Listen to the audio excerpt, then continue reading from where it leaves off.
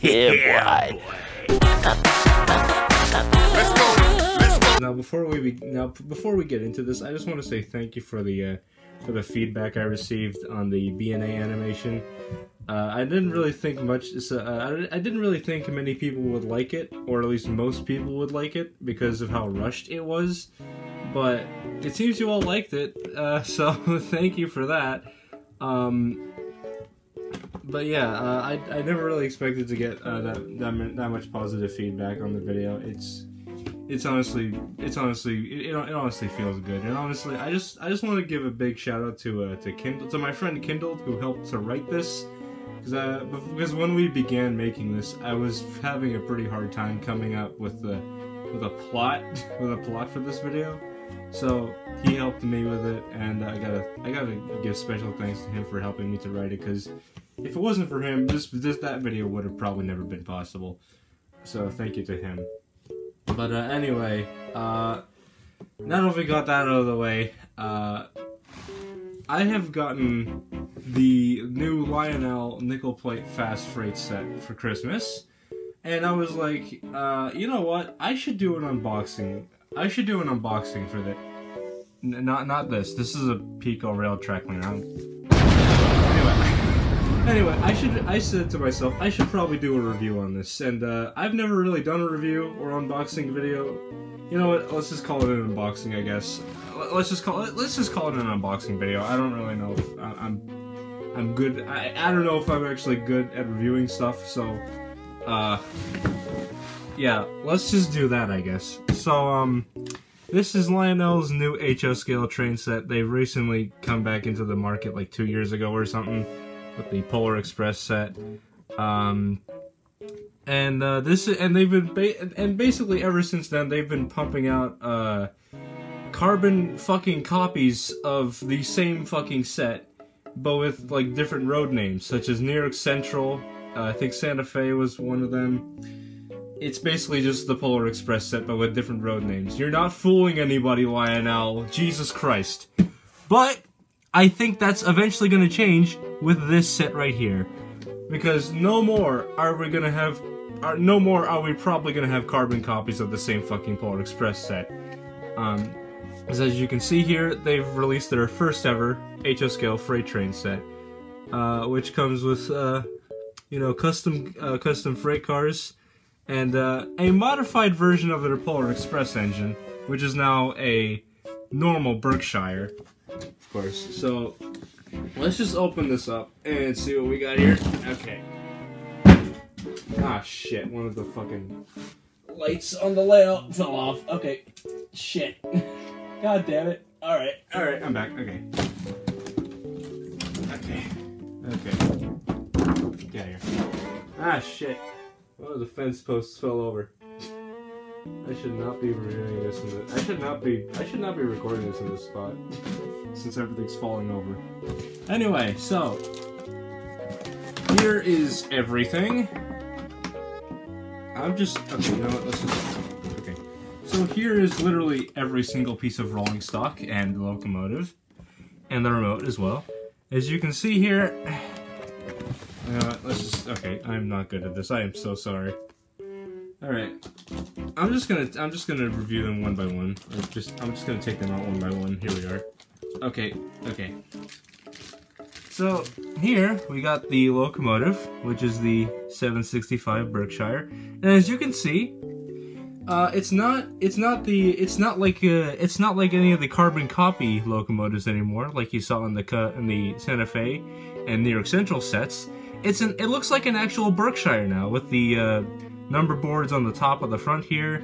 You got the smaller cow catcher and front coupler finally.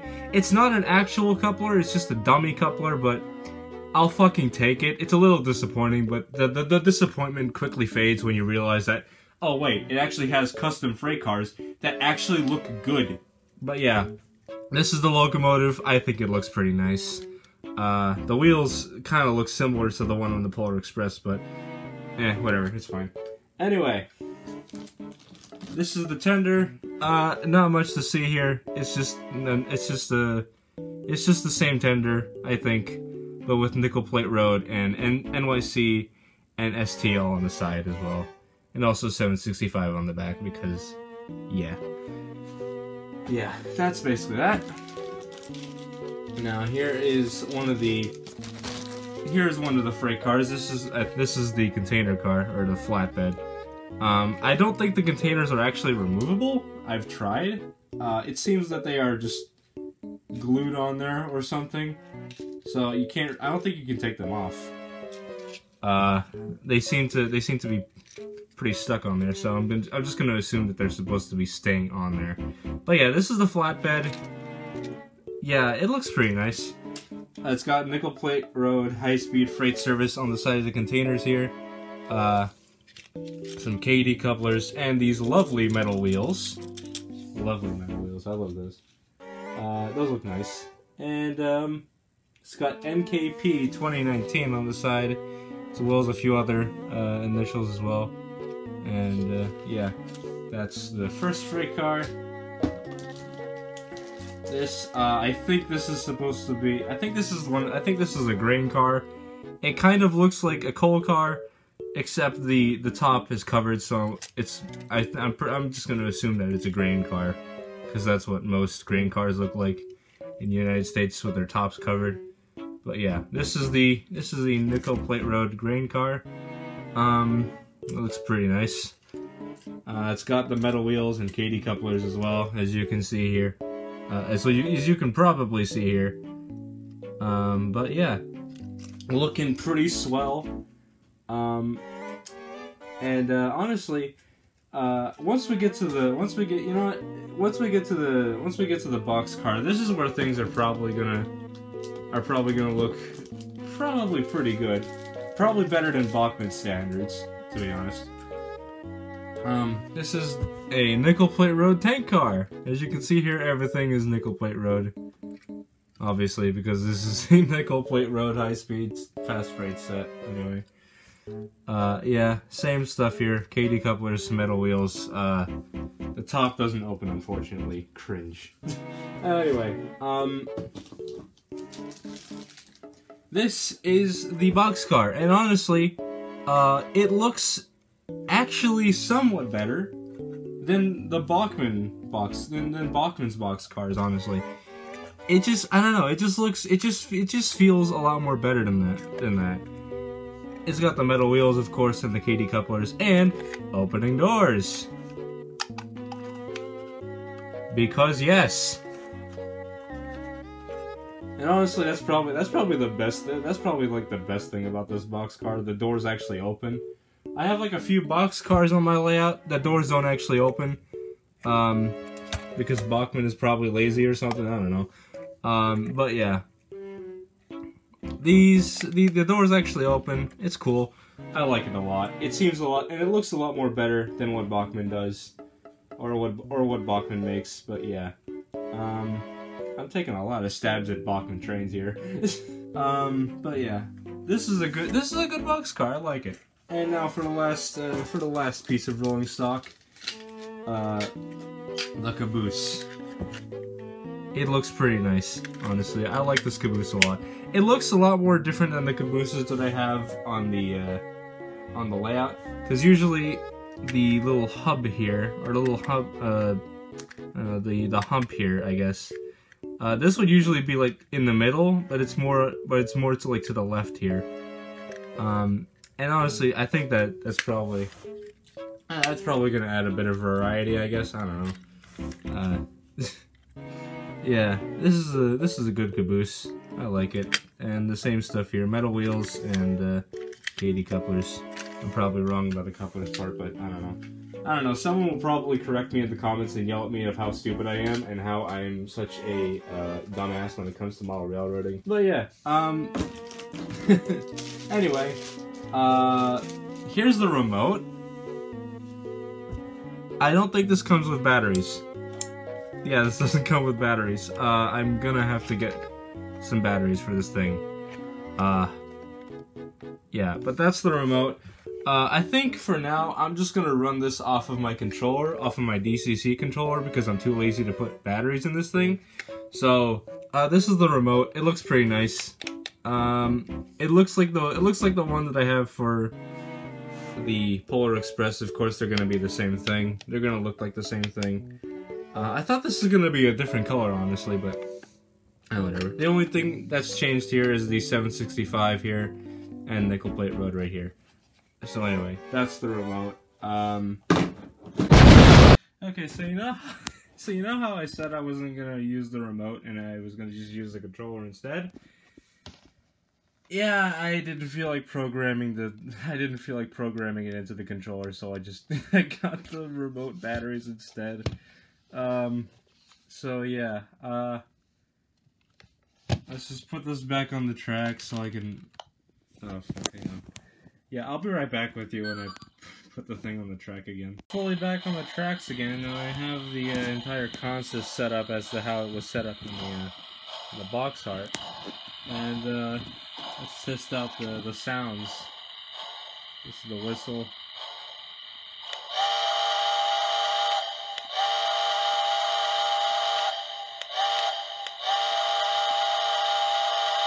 Alright, Bell.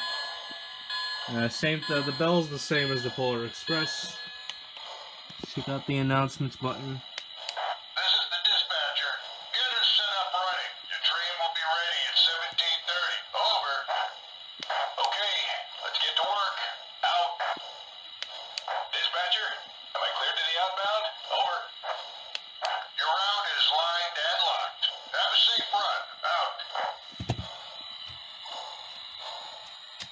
Uh, so I think that's probably, I think that's probably all the announcements, or all the voice lines for this thing. Um, there's probably going to be more when I'm running it, but uh, yeah, let's just uh, let's give it a little, a little bit of more. Actually, I should probably take the coaches off the track first because that's probably going to be blocking it. I'll be right back. Alright, so the coaches are put away. Uh, let's get this crap started.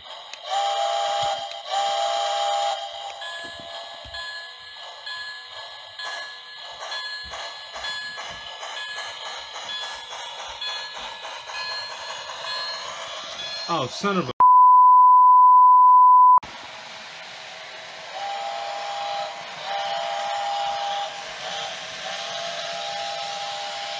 Are you fucking. Okay, so I'm starting to notice a bit of a problem here. As you can see, the coupler height on both the caboose and the container car here are not exactly the same. Um, I swear to God, these things are not bent. They are literally brand new. I don't know why the height is not the same. That's that is really weird. In fact, I think it's, it's I think it's different on the yeah, it's a little bit different on the tanker and the container car. Yeah, you can sort of see it. I don't know if you can, but you can sort of see that the height is a little different. And it's extremely noticeable on the caboose and the container car here. Um, this is probably a bit of a defect. I think it's probably a defect that Lionel could later fix in later versions.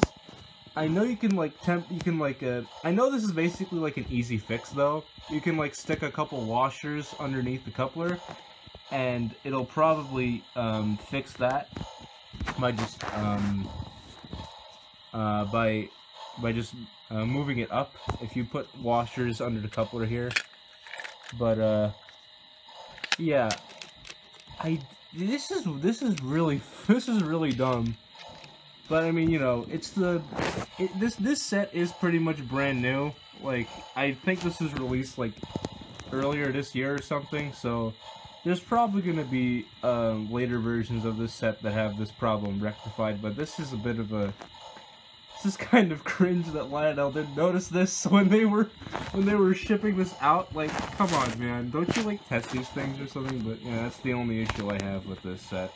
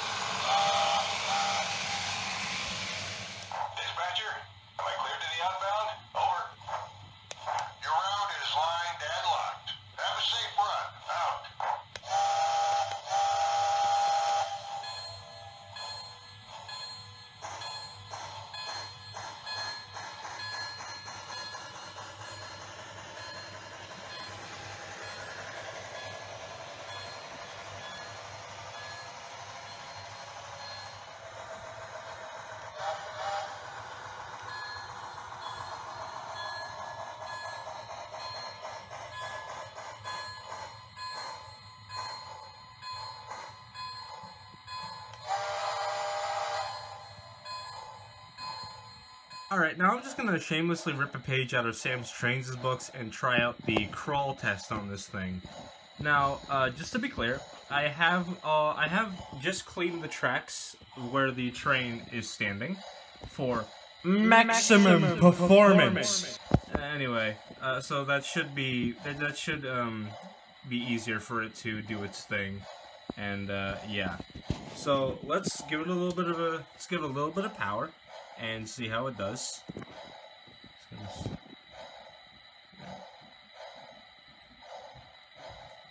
Come on.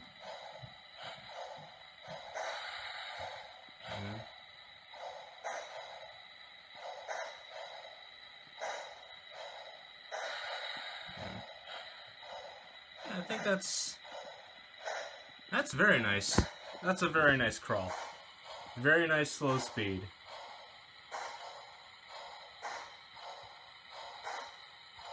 That is very good. Alright.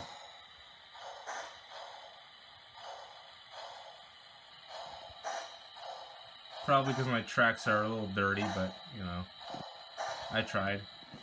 With this Peco uh, eraser thing. But yeah. So this has been Lionel's uh, HO scale Berkshire freight train set, and honestly, I think it's pretty good. The dummy coupler the dummy coupler on the front of the locomotive is a little disappointing because I kind of expected it to be a an actual coupler like the rest of the other couplers on the train. Um, but unfortunately it isn't. But that's not really, that doesn't really disappoint me that much because the freight cars look excellent, as well as the caboose.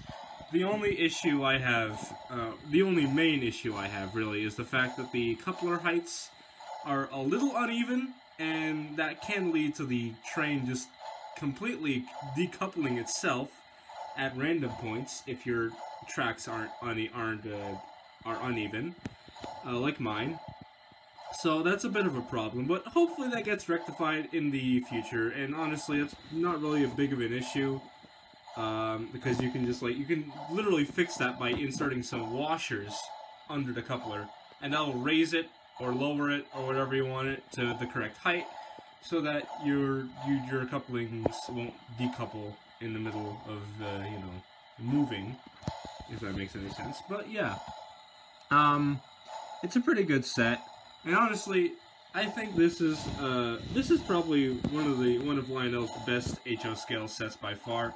And I honestly, honestly want to see them do more than just Berkshires in the future. Like maybe like maybe like maybe do some diesel locomotives. Hey, maybe another HO scale steam engine like a like a GS4 or a cab forward maybe. I mean, they already modified the uh, their Polar Express to be more like an actual Berkshire here. So I wouldn't be surprised if they came out with anything else other than Berkshire in the near future. Um, and that would be that that would be pretty good actually. That would be pretty nice. But anyway, um, I don't think I have anything else to say here, so this has been Pacific Productions, and uh, I will leave you with a with a with a little bit of a montage of the 765 hauling a rake of passenger coaches. So yeah, I will leave you to that. See you later.